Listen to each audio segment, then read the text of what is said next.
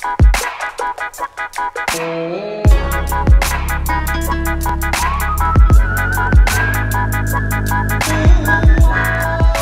photo nerds, welcome back to another YouTube tutorial. Today is part two in our series where we talk about Google Nik Collection and how to use the control points in each of the series. In the past video, we talked about using control points in the Color Efex filters, but today we're going to talk about using control points in the Analog Efex filters. So We've already got an image up here inside of Lightroom. This is going to be our subject for the day. And we're going to start by jumping into Analog Efex. So to do that, we're going to go to Photo, Edit In, and go to Analog Efex. Now you'll notice that I have uh, two versions here. Analog Efex Pro 2 is the one that you want. That's the newest version. If you don't have that, make sure you go to Google and reinstall this. So I'm going to go here and it's going to ask me, do I want to bring with it any Lightroom adjustments? I'm just going to say yes. Now, while that go goes ahead and opens up, it's important that I mention I don't use this filter very much. Analog Efex isn't really my style. And the reason for that is that this is mainly geared towards film photography. And since I don't do a lot of film photography and I don't want my pictures to look like they were done with film, I don't find myself using this version very much. There's other filters within this collection that I'd much rather use. But if that's something that you think you might like, or you just want to get in here and play, then knock yourself out. There's a ton of things you can do in here, but we're going to focus on the control points today and show you exactly what they do. And it's very similar to how they work in some of the other filters. So if we get familiar now, you'll see some repetition in some of the other filters in this series, in some of the other videos that we're going to do in this series. So I'm going to start by opening this puppy up. And as is the case with all of the Nik filters, it basically breaks down to three parts the left side, the middle side, and the right side. So we're going to start on the left side. The left side is where we're going to choose the filters that we want to apply to this picture. So we're going to go up to the top here where it says cameras and click on it. And if you were to click on the little arrow next to classic camera, you'd get these tool combinations. And this is where you can kind of get lost in here because there's so many different things that you can apply. But we're just going to stick with the classic camera for now. But if there's other things you wanted to play with, like black and white or motion or whatever, go ahead and drive yourself crazy. I'm going to just stick with classic camera. And when I do, you're going to notice that there are several different presets that come with this, nine in particular. And so you can use this as a starting point as to what you want your picture to look like. Now I've already kind of toyed around with some of these, so I'm going to just go with maybe Camera Classic 6. No, Camera Classic 3. We're going to start with Camera Classic 3. That looks pretty good. And when we do, it's going to apply all of these different filters to the photograph. So if we navigate now from the left-hand side over to the right-hand side, you'll see exactly what it is I'm talking about. What it did was it added basic adjustments, some dirt and scratches, a lens vignette, and some film type. And, and collectively, uh, what that did is it made the picture look like this to this. So this was before, and this is after. Not drastically different, but different. Now here's where the magic happens. If we go underneath the basic adjustments here, you'll notice that it applied four things detail extractor, brightness, contrast, saturation. And anything that you do in here is going to affect the photograph globally, which means the entire picture is going to see changes. But this is where the control points allow you to manipulate exactly where the where the adjustments are going to be applied. Think of it as a layer mask inside of Photoshop. If you don't know what a layer mask is inside of Photoshop, it's what gives you the ability to control your adjustment. In other words, instead of having the adjustment on the entire photograph, maybe you just want the adjustment on a particular thing, like a flower, or maybe you want it on a particular color or a particular shade, something like that. Basically, you can be very specific about your adjustment and where it's being applied. This is a really, really powerful thing. Now, before I show you the uh, control points, I'm going to just show you one little quick tip that I think is pretty fun because a lot of us lack the creative vision to kind of see where we want to take this picture. So they've built in a button that I think you might find really handy and it's called the vary button. If we click on vary, you'll see the photo change. Every time you click vary, you'll see the photo change. And what it's doing is it's changing the settings up in those four options at the top and it's giving you different recipes, so to speak. And you can just keep clicking through them until you find something that you might like and then you can kind of go from there. If you decided that you wanted to go back, maybe there was a vary that you liked back and you've now passed it up, you can go back to the left hand side under the history panel and you'll see in history all of the different varies that you've tried. And so you can just click on each vary until you get to the one that you think you wanted or the one that, that you thought looked really cool. And you could say, all right, this is the one that's going to be my starting point. And then we can go back over to the right hand side where we have those adjustments and those control points. And one last thing before we jump into the control points. If you wanted to turn off, say the dirt and scratches, all you have to do is uncheck this box and it'll take the dirt and scratches off of the picture.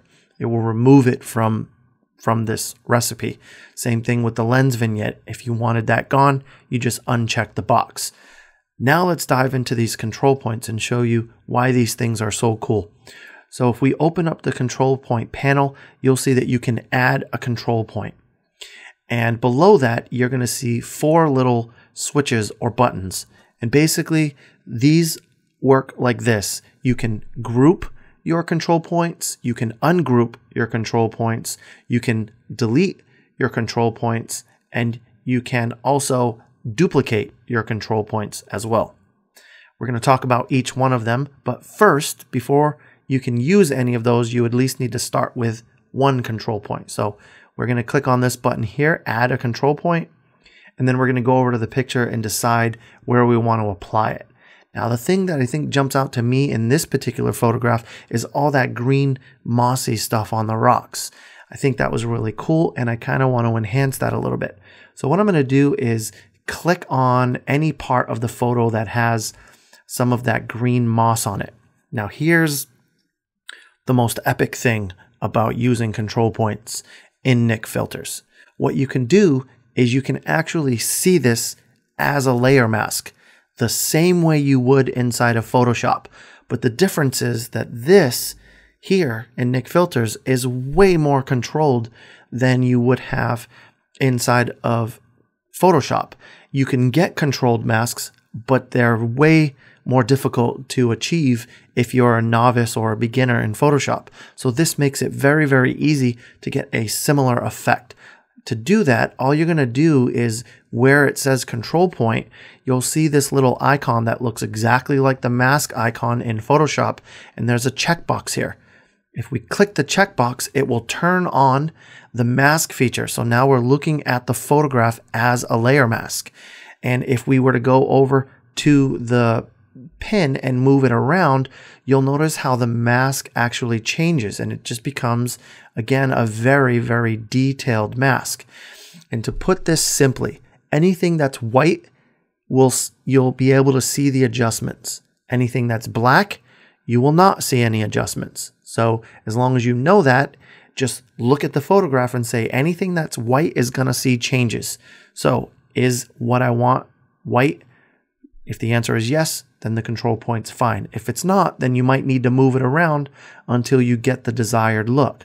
Another thing that you can do once you get close, like right here looks pretty good, is you can change the radius of this. So if I if I click and drag on this top uh, slider here, you'll actually see how this gets a little bit more restricted or the area in which we can use these pins gets a little bit more restricted. Once I have that dialed in, I can go back over to that checkbox, turn it off.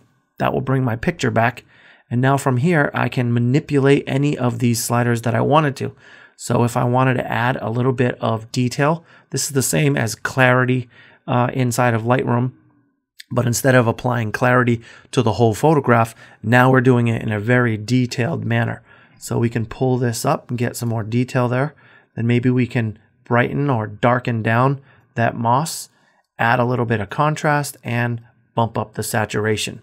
So we've made some changes to that mask. If I turn this on, you can see what it's done. But as I've said before, you can also duplicate, group, and ungroup these points. So let me just show you real quickly what that looks like.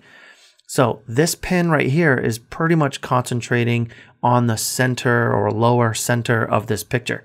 But the left hand side and the right hand side is being left alone. So if I go over here to this little button here and click to duplicate the pin, it will duplicate the pin for me.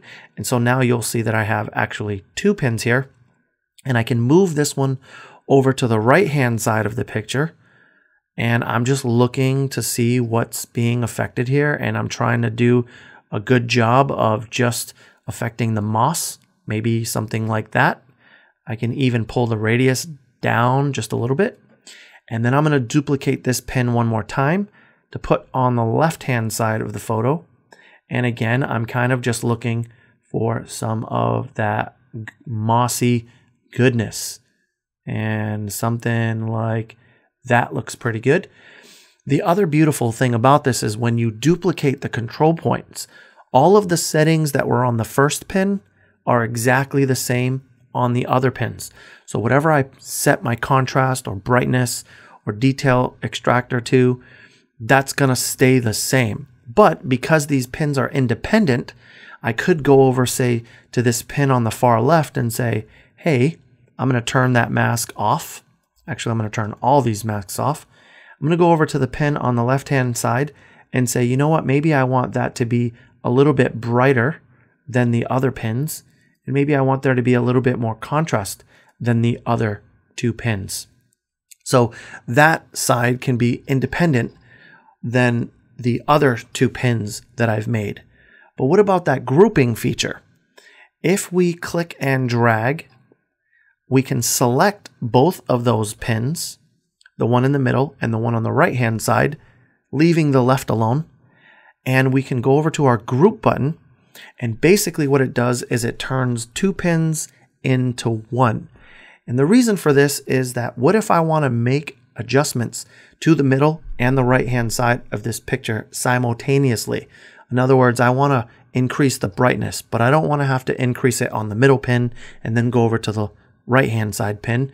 I just want to do it at the same time. Well, if you group them together, then any adjustments that I make to the one pin now, because two became one, any adjustments that I make will happen simultaneously to both areas. So if I bring this up, you'll see how now the middle and the right hand side are seeing changes, whether I darken it or increase the brightness, whatever I do. So that's really cool. If you decide at some point that you don't want these to be grouped anymore, that's where the ungrouping will come into play.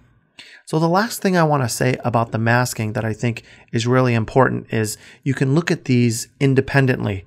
So in this example, I have three pins, a left, a middle, and a right. And so if I want to see what one pin is doing, whether it's the middle or the left or the right, I can turn that mask on by checking the appropriate box and it'll just show me the mask there. But if I want to see the mask in a group, so to speak, then I can turn on the middle and the right or the left and the right or the middle and the left. You get the point. Um, you can turn these on however you you you want to to kind of see them.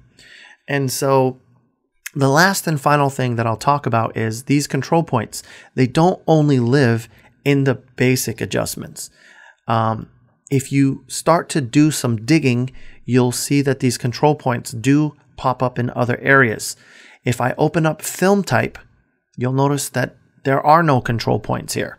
If I go in the lens vignette, you'll notice there are no control points there. But if I go into the dirt and Scratches area, you will see that there are control points here. And the control points here work exactly the same as they do on the other areas. The only difference is that these control points are controlling the dirt and scratches section. So if I were to add a control point in here, let's say I wanted to drop a control point up here in the rocks, for example, then what I end up having is the texture strength. When we were in the basics panel, we could we could adjust the detail, contrast, saturation, brightness.